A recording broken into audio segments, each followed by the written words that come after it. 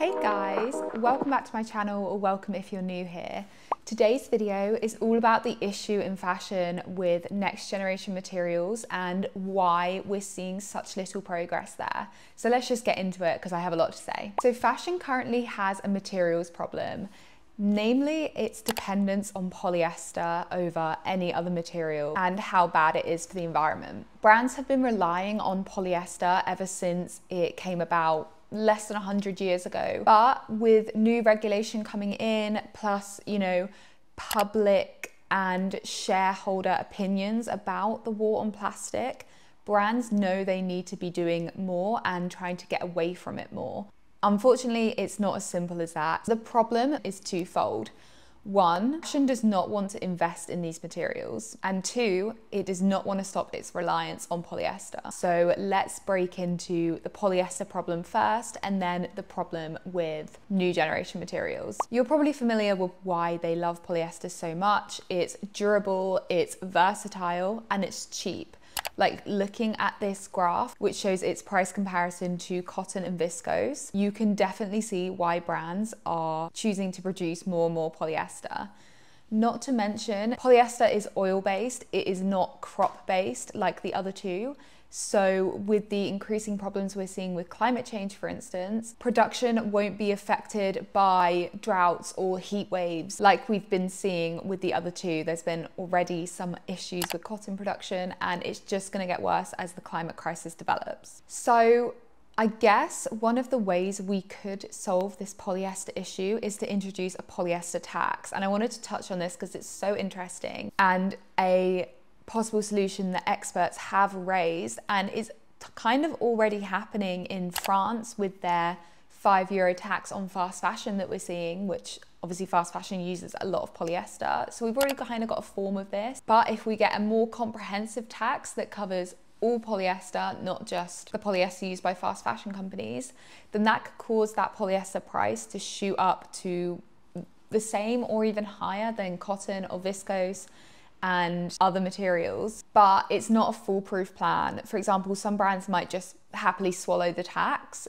because they like polyester more than cotton and viscose, so they'll just pay a premium, or it could drive brands to find a alternative to polyester which is just as bad for the environment. We just don't know. Really the only solution is to move away from polyester completely. But this is something brands are really dragging their heels on. Brands are still hung up on polyester even though they know new materials are available and they're very focused on recycling polyester, even though they shouldn't be. There's been a lot of news recently about recycling schemes for polyester and other materials failing due to lack of funding or just lack of interest. For example, you may have heard about Renewcell, which collapsed in the past month despite having a lot of traction when it first came about, and H&M was a major backer of it, for example.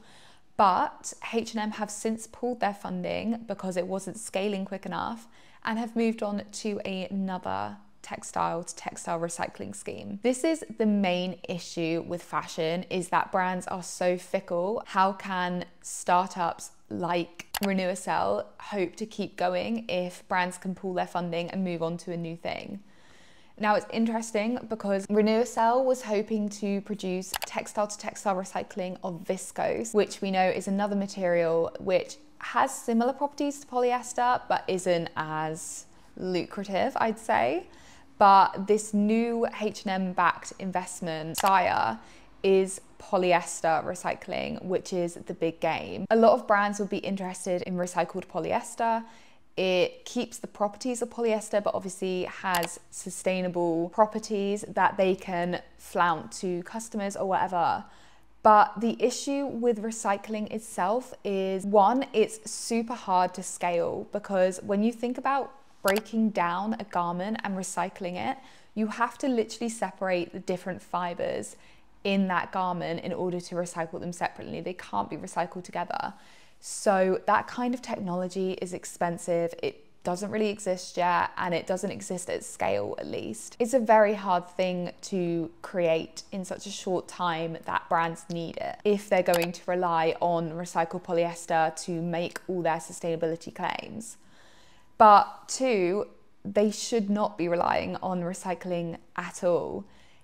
Recycling polyester is just plugging a hole of a broken system. It's not fixing the issue at its root, it's just creating a distraction to our increasing dependence on plastic, which we should be trying to get away from in the climate crisis. They see recycling as a way into the circular economy but hopefully a circular economy will one day be entirely without polyester or oil-based materials. So it just doesn't really fit into the ideal design of a circular system. So it's kind of infuriating to see them shoveling all their money into this venture when they should be focusing on other things. Let's talk about the things they should be focusing on instead and the issues that come with that. So, next generation materials are really exciting. When we say next generation materials, mainly we're talking about biomaterials, which are largely plant based. There's so many new materials now. It's a really exciting field. There's literally something from every kind of organism you can think of. Like we have mushroom based leather. We also have seaweed based yarn, sugarcane bioplastic sneaker foam, which has been used by Reebok, I believe. Recently, Coperni unveiled a bag that was made of 99% air. Like 99% air. There's basically no waste with that. It's insane and that got a lot of hype. And that's kind of the first issue that I want to talk about with new materials. There's a lot on the market, and every time a new thing comes out, there's initially a lot of public awareness about it. Maybe they do a stunt where they pair with Coperni, for example, and a lot of people see it initially but it's maintaining that hype to get the items from first stage production into mass production, which is the challenge. And brands are often not that patient. It takes a lot of time and it takes a lot of money because you are literally inventing something from a basic organism into, you know, a leather bag that has the same quality as a true leather bag. It has the same durability, it has the same visual appeal. It's so hard. The technology is there and it's developing all the time, but it will take time and brands are notoriously not known for waiting. Like I've said, there's so many different options for brands to choose from depending on what they're hoping to achieve, what material they're trying to replace. Obviously, Leather is a really big example here. Leather has such a big environmental impact when you're using traditional cow leather, and mushroom based alternatives have been quite successful. There's been a few brands that have done sort of small collections and stuff. And there's also been a lot of public awareness. There was a statistic that kind of stuck out to me. It was 92% of US shoppers say they would buy a product made from next generation materials and pay a premium to do it. So brands are aware that there's a public interest here and we have the materials in development and we've shown that they are scalable. So, what is the issue? Because there was an example of a company that was literally so close to mass market. It was called Mylo and it was mycelium leather made from mushrooms. And they had to shut down just as they were on the brink of being able to mass market. There's also an example of a, another sort of next generation material called Spinnova who's recently had to say they have to scale back and they're close to failing despite how much progress they've managed to get through. So let's talk about why that is. Like we're all aware, the economy right now is not great. There's rising costs and there's also increasing pressure from brands to scale these materials at an unsustainable rate.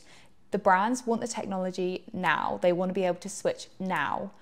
And sometimes that can mean that these next generation materials have to compromise on quality in order to create something at this pace and no one wants that brands don't want that but they also don't want to wait so it's just kind of like pressure from all sides from these new materials to achieve something which is almost impossible. Another possible explanation is that the market is too saturated. Like I said, there is something from everything, and not all of these companies can get funding. There's only so many brands, and these companies need a lot of money in order to start. There's a graph I found on someone posted on LinkedIn that they'd made, and it was like common truths about new generation startups and why they are failing or struggling. So I'm gonna link to the post. And I'll pop it on the screen so you can pause it to read. It's really interesting. I wanna talk about examples of brands rising to the challenge and really focusing on doing better. For example, I made a TikTok recently of Ganni's new boot. These boots are available mass market. They're made from a innovative new material which fuses Tencel lyocell fibers and recycled leather fibers. And Ganni are saying that they're just as good as their leather alternatives. They certainly look as good as their leather alternatives to me. The chief sustainability officer at Ganni actually shared that last year they managed to phase out all virgin leather materials from their supply chain, which is insane considering they still produce a lot of leather looking items like boots, like bags, whatever you can think of. They're still producing that, but they're all either recycled or next generation materials. So they're proving that it can be done. I also wanted to talk about this hoodie, which was made in collaboration with a next generation material brand and a designer. This one's interesting because instead of the next generation material waiting for a big brand like Ganni, like Chanel, whatever, to come to them and collaborate, they went and put out their own clothing line instead. They did not wait for brands to come to them. They produced something to show that it was marketable. And what's interesting as well is the price of this hoodie is $600, which is an insane price. But they said they've priced it this way in order to get funding to keep scaling their business. I guess if customers can afford it, they can help scale something that is going to become really important. The hoodie itself is fully recyclable, compostable, and biodegradable. So the material they've created is insane and a great way to be using up cotton waste from the fashion industry. So whilst the price tag is maybe a bit steep for me, I do really like the idea of this. I'm not 100% sure on the product. It's a little bit plain for me, but I think it's more about concept and about buying into the idea of this if you are going to shop it. So I'm going to let it slide. So that's kind of a big overview on what's happening. Let's talk about quickly what we can do as consumers. And I really don't like the word consumers. I want to separate ourselves from the idea of buying. So I'm looking for an alternative to call us. But anyway, what can we do to help brands make this shift? Unfortunately, there's not much we can do in terms of mass scale. Like, we can't push regulation other than pressing on our MPs or your government agencies. But we can vote with our wallets. So we can support brands doing better. Like, say, Ganni, I know they're quite expensive, but if you have the money, buying Ganni's collections with these leather alternatives, for example, will show the brand that we're interested, that we we'll put our money where our mouth is when we say we want sustainability and it will encourage them to do more. Or the other thing we can do is stop buying virgin and recycled polyester if we can. Most importantly, virgin. So I know Fashion Revolution Canada, I think, is doing a no polyester challenge, which you can sign up to, which is a really nice way to do it as a community. But basically, just stopping yourself from buying polyester for the rest of the year would make a huge difference, not only to you, but in telling the industry that consumers are not interested in unsustainable materials anymore and they should stop churning them out. Plus, it's better for your health. I mean, the toxic nature of polyester is slowly ruining us. There will be studies in the next few years that show the impact. And obviously, Alden Wicker's book does a good job at telling us what it's like now.